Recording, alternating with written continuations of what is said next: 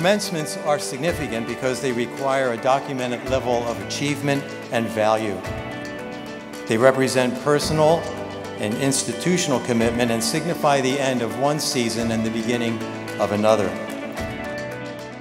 Oh Lord, we gather here today as a diverse, Christ centered community committed to faith, reason, and justice.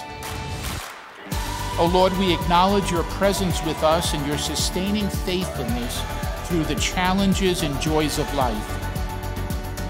Blessed be the class of 2023, for they have endured and finished well. Class of 2023, we pray that you'll continue to come alive each day as you recognize God's faithfulness and the call of your life in this world. Graduating college is a wonderful, celebratory time. But now, the far off future of after graduation has become the present. You're now off to prove yourselves professionally and personally, to test your skills, to challenge your abilities, and to live in faith, reason, and justice in a whole wide world.